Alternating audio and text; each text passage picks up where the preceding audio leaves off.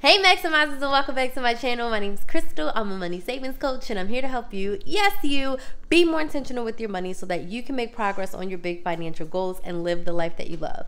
For today's video, I'm to share with you all our meat haul that we just did. All right, just to give you a little bit of backstory, the last time I just looked on my YouTube channel, the last time I went meat shopping and I posted a video, it was on January 10th. So we didn't do a big meat haul like this in February. We used Walmart, we used Target, we used BJ's, and we used meats that we already had from there. And we were traveling a lot in February. And so we just did a meat haul and we're gonna probably do another one mid-March as well because we just have a few packs in the freezer. So we spent I'll tell you how much we spent after. So where did we go? We went to Freshfield Farms. Freshfield Farms is a butcher in Orlando. And basically they have a produce side and they have a meat side. And they have like all the things, y'all. It's super duper cheap in my opinion as compared to like Walmart, Target, and even Publix. So when we need supplemental meats, we will go to those places I just named. But when we do our stock up hauls, because Bay is bougie, he prefers Freshfields and he loves, loves, loves their steak. So it's Sunday when I'm recording this, and he is gonna grill for us tonight. And um, he wanted to get some fresh steak, so we did our meat haul. So I'm gonna show you what we got from meat side, and I'll show you what we got from produce side, and then I'll tell you how much we spent. Okay, first let's do the meat. So there's this giant pack chicken drumsticks, y'all. Do you see this? It's 6.74 pounds for $6. This could easily be like three, if not four meals for us because even if we eat two at a time, that's one meal, that's two meals. Yeah, it could easily be three to four meals. Um, so what I'll do is I'll break this up and we'll cook some today for the grill, and then the rest I'll put in individual freezer bags and freeze them out. But six pounds of chicken for six dollars is insane. All right. When we go back again in March, we're probably gonna get a little bit more chicken than we got today. Then we have head-on shrimp from Ecuador. These um, are a little less than a pound, but you can see it's 455. This one's 336, and it does have the head on, so Bay will just cut those off. So the shrimp, they have steak, chicken, shrimp, all that stuff on the meat side. Over here, you can see we got 2.7 pounds of chicken breast. I will put these probably two into a quart size bag or even individually because it's something that we can pull out the frost, have for lunch, or make tacos or something with it. So it's better to freeze those separately versus a big pack. And then we can move on to the steak. So Bay got us one T-bone steak. You can see this is $11.99 a pound. But look how fresh their steaks are, y'all. Like they cut them fresh in the butcher that we go to. We got um 2.39 pounds of ground beef. So I'll split this up probably into about three meals. So we'll have a little less than a pound, but we'll be able to have this for probably two to three meals. Then he buy, bought this giant chuck roast. So you can see it's 2.84 pounds, but it's $15. And it's a giant, giant roast. He'll cook that in the crock pot or in the oven.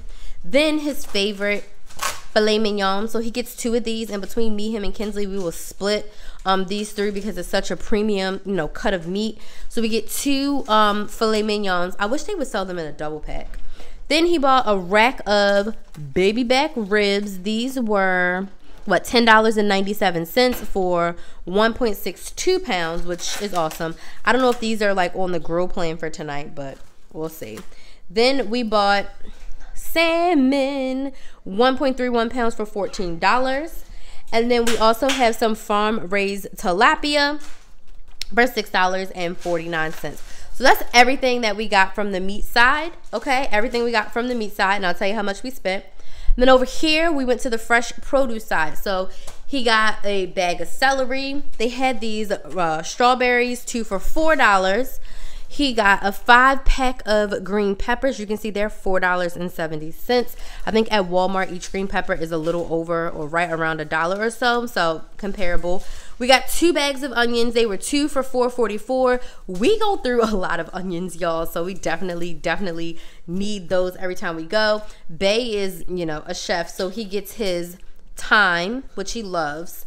And he gets his fresh rosemary, which he loves to cook with these things, y'all. He got two big old uh, bulbs of garlic. Again, he's a chef. Um, self-proclaimed. Here's one big red onion. He got some baby Bella mushrooms because when he makes these steaks, y'all, on the grill, he's going to saute onions and mushrooms. It's heavenly. He bought some of these little white potatoes, $3.23 for almost three pounds of little potatoes, which I think is definitely a great deal. And when you're buying them, you can actually see them versus at Walmart when you buy the bag, you can't really see inside of the bag that you are purchasing. But he'll use this for the chuck roast, and then we'll just have potatoes on the side. And then we get a five pack of corn because we love corn on the cob. And then we got us one big old honey glow pineapple, and he will slice this up for us, and we will have pineapple. Okay, so that's everything we got from the meat side and from the produce side. Now let's talk about how much we spent. So again, if you're local to Orlando, I highly suggest you go to Freshfield Farms. Okay, um, it's right near Pulse. And if you ever come here, um, and you're staying, even if you're like staying for a week with your family and you plan on barbecuing, if you have a rental car, I highly suggest you taking that ride and going to Freshfield and getting your like meat and stuff for the week if your family's like cooking at home because it's so much cheaper than going to Publix. Okay. All right. So and uh, it's on the way from. I'm pretty sure it's on the way from the airport, so you could make that stop before you even get to your vacation house. All right, cool. Let me get back to what I'm saying. All right, so for everything that we got, it says we got 11 items. Well, I say 11.69 items. Let's see. We got 1, 2, 3, 4, 5, 6, 7, 8, 9, 10, 11, 12. I don't know why it says 11 point. Some don't count as a full item.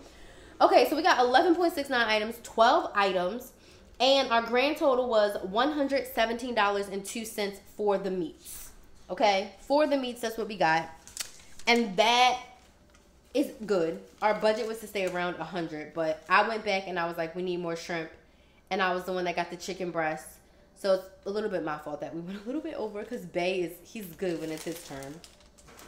And then on the produce side, our budget was $30, but we ended up spending $36.94. So altogether, we spent 117 plus 30 is 1 47 spent about 155 dollars. I'll put the exact amount on the screen because i'm exhausted.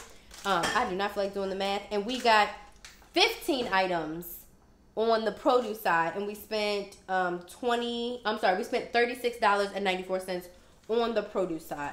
So overall a great day 150 dollars. Like i said we probably will go back to freshfield in about a month.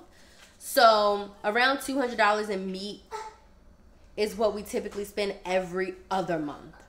Every other month, I would say, is our consistency is kind of what we're doing. So we're spending about a hundred, between a hundred and two hundred dollars every other month, which I think is reasonable because we really don't eat out. We eat at home for pretty much every single meal. Okay, so I want you to let me know down in the comments if you go to a butcher or how you save on meats. I have this little green string I'm gonna get out of here. So if you are interested in learning how to shop with a purpose from me, you definitely, definitely, definitely want to get on the wait list or sign up for my coupon bootcamp. I'm not sure when this video is going up, but if you just go to my website um, and click on work with me, you will see the most updated way to work with me to either get on my wait list, to get inside my coupon bootcamp, or to directly sign up for the coupon bootcamp. So drop your questions down in the comments. I want to thank you all so much for your love and support.